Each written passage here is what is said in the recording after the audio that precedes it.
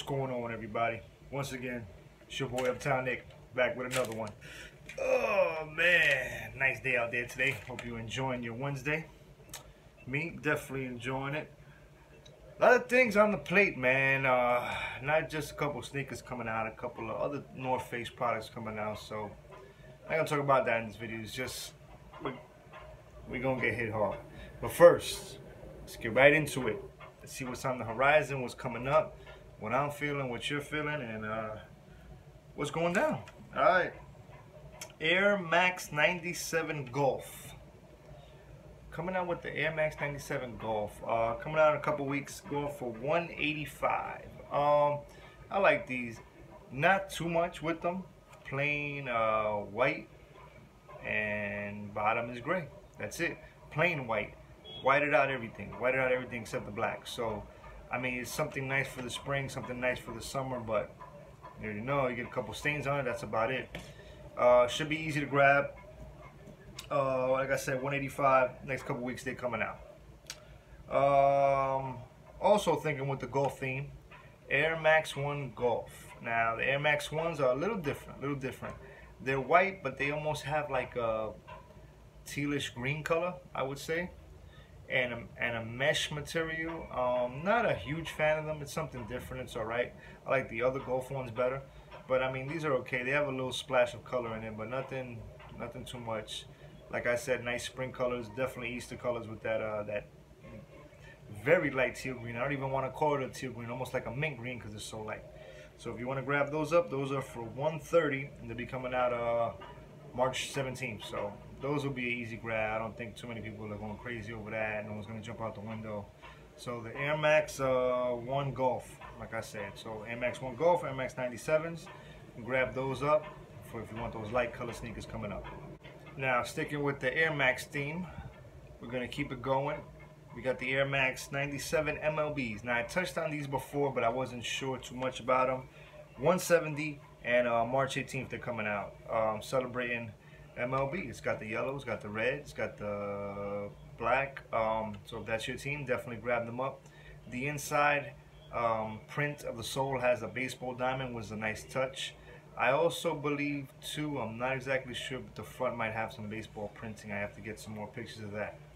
But if you want to grab those out, the 18th and 170 MLB um, Air Max 97. So definitely the Air Max is coming hard, especially before uh, Air Max Day. So if you want to get busy and start cracking and grabbing a couple of those, definitely grab them up right now. What else we got going on? Uh, oh, got quite a few. Nike SB Dunks Atmos, they're gonna call them now. If you remember the Atmos Air 1s with the green and the elephant print, we're doing the same thing on the Nike SB Dunks, and why not? Because everybody's going crazy for the SB Dunks, and why not? So they've gotten that colorway going on. So if you want to grab those up, you can definitely grab those up. Those are coming out in November. Don't have a price yet. Hopefully retail. Hopefully people don't go crazy over that. But it's a nice color colorway. It fits nicely with the with the SB Dunk. So if you want to add that to your collection, be ready. Can grab those up uh, November. Uh, which is still far away, I know, but you know, I always gotta be ready just in case. Air Jordan notebooks, mids. Now, you see how they've been coming out with the mids. Some been nice, some, you know.